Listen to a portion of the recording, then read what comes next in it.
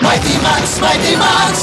Στο φοβερό κάστρο του τρόμου, ο κακός άρχοντα εκτοξεύει την πύρινη μπάλα εναντίον του Mighty Max. Η σαγωνογέφυρα πέφτει και το κάστρο ανοίγει διάπλατα. Ο δικέφαλος δράκος είναι ατρόμητος φρουρός του κάστρου. Ο κακός άρχοντα ανεβαίνει στο σκέλετο ασανσέρ, μπαίνει στη βολίδα και εκτοξεύεται με ορμή. Ζήστε τις φοβερές περιπέτειες του Mighty Max στο κάστρο του τρόμου. Η μοίρα του είναι στα χέρια σας.